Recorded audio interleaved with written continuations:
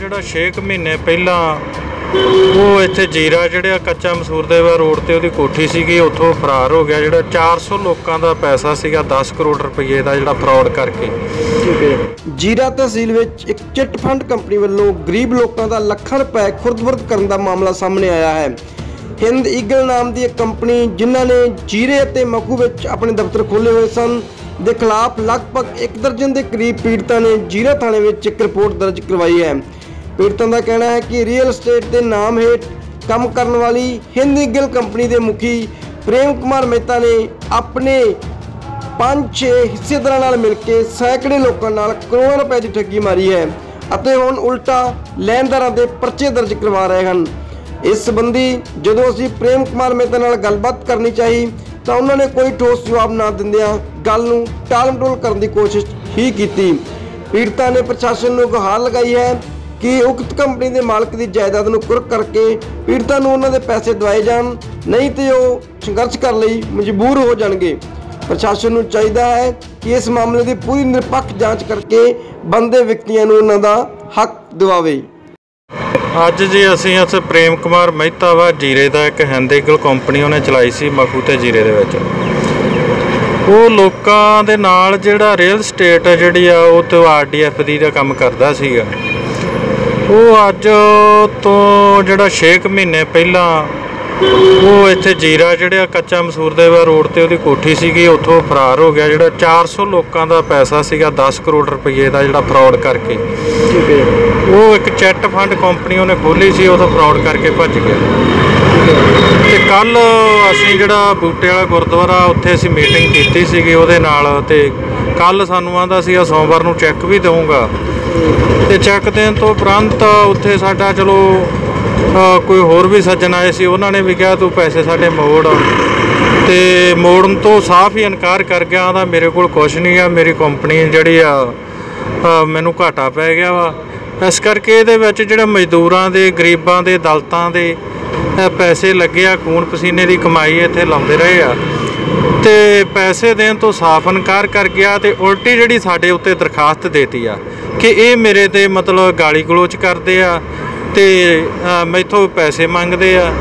ਤੇ ਅਸੀਂ ਅੱਜ ਐਸਐਚਓ ਥਾਣਾ ਜੀਰਾ ਨੂੰ ਮਿਲਣ ਵਾਸਤੇ ਆਏ ਸੀ ਅਤੇ ਐਸਐਚਓ ਜੀਰਾ ਨੂੰ ਵੀ ਅਸੀਂ ਆਪਦੇ ਵੱਲੋਂ ਦਰਖਾਸਤ ਦਿੱਤੀ ਹੈ ਤੇ ਡੀਐਸਪੀ ਸਾਹਿਬ ਨੂੰ ਵੀ ਦੇਵਾਂਗੇ ਤੇ ਐਸਐਸਪੀ ਸਾਹਿਬ ਨੂੰ ਦੇਵਾਂਗੇ।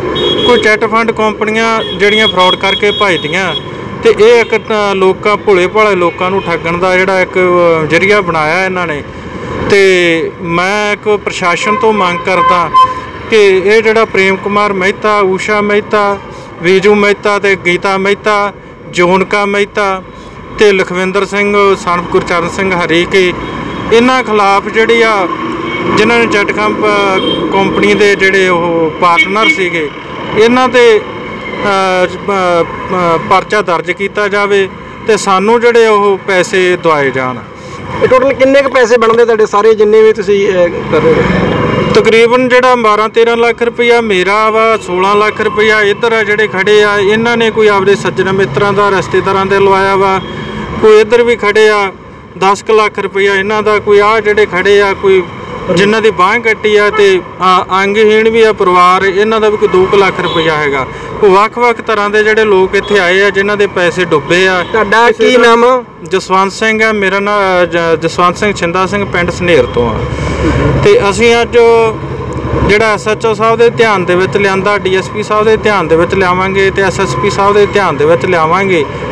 ਤੇ ਜਿਹੜੀ ਆ ਬਣਦੀ ਕਾਰਵਾਈ ਦੀ ਮੰਗ ਕਰਾਂਗੇ। ਜੇ ਪ੍ਰਸ਼ਾਸਨ ਤੁਹਾਡੀ ਗੱਲ ਨਹੀਂ ਸੁਣਦਾ ਕੋਈ ਅੱਗੇ ਤੁਹਾਡੇ ਆ ਕੋਈ ਸੰਘਰਸ਼ ਦੀ ਕੋਈ ਰਾਹ ਫੜ ਸਕਦੇ ਹੋ ਤੁਸੀਂ ਕੁਝ ਸੰਘਰਸ਼ ਦਾ ਜੀ ਵੈਸੇ ਤਾਂ ਸਾਡੀ ਜਿਹੜੀ ਆ ਕਮੇਟੀ ਜਿਹੜੀ ਆ ਯੂਨੀਅਨ ਕਮੇਟੀ ਲਿਖੀ ਗਈ ਆ।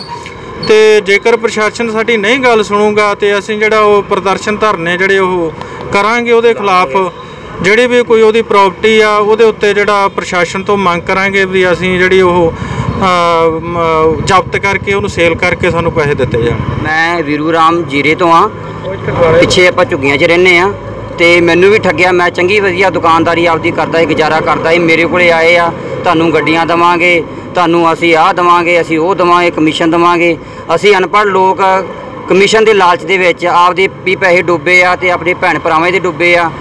ਆਮ ਦੇ ਪਿੰਡਾਂ ਦੇ ਵਿੱਚ ਵੀ ਜਿਹੜਾ ਅਸੀਂ ਕੰਮ ਕਰਦੇ ਚੂੜੀ ਦਾ ਜਾਂ ਕੋਈ ਆਪਾਂ ਕੱਪੜੇ ਦਾ ਤੇ ਉਹ ਵੀ ਭੈਣ ਭਰਾ ਨੂੰ ਵੀ ਡੁੱਬੇ ਆ। ਮੇਰਾ ਘੱਟੋ ਘੱਟ 35 36 ਲੱਖ ਰੁਪਈਆ ਲੋਕਾਂ ਦਾ ਵੜਿਆ ਹੋਇਆ। ਮੇਰੇ ਘਰੇ ਆ ਕੇ ਲੋਕੀ ਗਾਲੀ ਕੱਢਦੇ ਆ ਮੈਨੂੰ ਚੰਗਾ ਮਾੜਾ ਵੀ ਕਹਿੰਦੇ ਆ। ਤੇ ਮੈਂ ਬਹੁਤ ਦੁਖੀ ਹੋਇਆ ਪਿਆ ਇਹਨਾਂ ਤੋਂ। ਤੇ ਏਜੰਟ ਸੀ ਇਹਦੇ ਵਿੱਚ? ਮੈਨੂੰ ਉਹਨਾਂ ਨੇ ਏਜੰਟ ਬਣਾਇਆ ਸੀ ਜੀ ਵੀ ਤੁਸੀਂ ਅੱਜ ਤੋਂ ਬਾਅਦ ਜਿੰਨੇ ਵੀ ਲੋਕੀ ਤੁਹਾਡੇ ਥੱਲੇ ਲੱਗਣਗੇ ਉਹਦਾ ਤੁਹਾਨੂੰ ਕਮਿਸ਼ਨ ਆਏਗਾ। 2% 4% ਜਿਵੇਂ ਜਿਵੇਂ ਲੈਵਲ ਰੱਖੇ ਉਹਨਾਂ ਨੇ ਉਹ ਲੈਵਲ ਦੇ ਹਿਸਾਬ ਨਾਲ ਆਪਾਂ ਨੂੰ ਕਮਿਸ਼ਨ ਦੇਣਾ। ਸਨੇਰਾਂ ਤੋਂ ਵੀ ਬਹੁਤ ਵੱਡੇ ਮੇਰੇ ਨਾਲ ਵੀਰ ਆਪਣੇ ਨਾਲ ਜੋੜੀ ਸੀ ਮੈਂ ਤੇ ਉਹਨਾਂ ਨੇ ਵੀ ਵਿਚਾਰਿਆਂ ਨੇ ਪੈਸੇ ਡੁੱਬੇ ਆ ਤੇ ਮੈਂ ਤਾਂ ਡੁੱਬੇ ਡੁੱਬੇ ਸੀ, ਉਹਨਾਂ ਨੂੰ ਵੀ ਵਿਚਾਰਿਆਂ ਨੂੰ ਡੁੱਬਿਆ ਮੈਂ। ਮੈਂ ਇਹਨਾਂ ਤੋਂ ਮੰਗ ਕਰਦਾ ਪ੍ਰਸ਼ਾਸਨ ਤੋਂ, ਉਹਨਾਂ ਨੂੰ ਫੜਿਆ ਜਾਵੇ ਤੇ ਕਾਨੂੰਨੀ ਕਾਰਵਾਈ ਕਰਕੇ ਉਹਨਾਂ ਦਾ ਤੋਂ ਆਪਣਾ ਪੈਸਾ ਦਵਾਇਆ ਜਾਵੇ। ਤੇ ਗਰੀਬਾਂ ਦਾ ਅੱਗੇ ਤੋਂ ਇਹ ਚੀਜ਼ ਦਾ ਧਿਆਨ ਦਿੱਤਾ ਜਾਵੇ ਵੀ ਇਹ ਜਿਹੜੀਆਂ ਕੰਪਨੀਆਂ, ਚਟਪਟ ਹੈ ਜਿਹੜੀਆਂ ਕੰਪਨੀਆਂ, ਉਹਨਾਂ ਨੂੰ ਰੋਕ ਲਾਈ ਜਾਵੇ, ਬੰਦ ਕੀਤੀ ਜਾਵੇ ਤੇ ਅੱਜ ਤੋਂ ਬਾਅਦ ਇਹ ਜਿਹੜਾ ਕੋਈ ਪ੍ਰਸ਼ਾਸਨ, ਜਿਹੜਾ ਕੋਈ ਉਹਨਾਂ ਦੇ ਕੋਈ ਕਾਨੂੰਨੀ ਕਾਰਵਾਈ ਕਰੇ ਵੀ ਜਿਹੜਾ ਕੋਈ, ਇਹ ਜਿਹੜਾ ਗਰੀਬਾਂ ਨੂੰ ਠੱਗੇ ਨਾ। ਜੇ ਠੱਗੇ ਤੇ ਉਹਨਾਂ ਨੂੰ ਕੋਈ 100 ਵਾਰੀ ਸੋਚਣਾ ਪਵੇ, ਅਸੀਂ ਬਹੁਤ ਦੁਖੀ ਹੋਏ ਪਏ ਆ ਜਨਤਾ ਤੋਂ, ਇਹਨਾਂ ਤੋਂ ਕੰਪਨੀਆਂ ਤੋਂ। ਦੂਜੇ, ਤੀਜੇ ਦਿਨ ਕੋਈ ਨਾ ਕੋਈ ਕੰਪਨੀ ਚੱਕ ਕੇ ਲੈ ਆਉਂਦਾ ਤੇ ਸਾਡੇ ਪੈਸੇ ਠੱਗ ਕੇ ਲੈ ਜਾਂਦਾ, ਖੂਨ ਪਸੀਨੇ ਦੀ ਕਮਾਈ, ਦਿਹਾੜੀ ਦੱਪਾ ਕਰਕੇ ਮਹਾ ਟਾਈਮ ਪਾਸ ਕਰਦੇ, ਬੱਚੇ ਪਾਲਦੇ ਆ ਉਹਨਾਂ ਤੋਂ ਵੀ ਉਹ ਖੋਹ ਕੇ ਲੈ ਜਾਂਦੇ ਆ। ਜਦੋਂ ਦੇਣ ਦੀ ਵਾਰੀ ਆਉਂਦੀ ਆ, ਉਦੋਂ ਉਹ ਝੱਗਾ ਚੱਕ ਜਾਂਦੇ, ਸਾਡੇ ਕੋਲ ਹੈ ਕੁਛ ਨਹੀਂ, ਸਾਡੇ ਕੋਲ ਕੁਛ ਨਹੀਂ ਹੈਗਾ। ਜਦੋਂ ਲੈਣ ਜਾਈਏ, ਸਾਡੇ ਤੇ ਹੀ ਉਹ ਪਰਚੇ ਕਰਦੇ ਆ, ਸਾਡੇ ਨੂੰ ਹੀ ਮਾਰਨ ਨੂੰ ਫਿਰਦੇ ਉਹ। ਤੇ ਮੇਰੀ ਤਾਂ ਆਹੀ ਬੇਨਤੀ ਆ ਕਿ ਤੁਸੀਂ ਉਹ ਉਹ ਸਾਡੇ ਤੋਂ ਪੈਸਾ ਵਾਪਸ ਦਵਾਓ।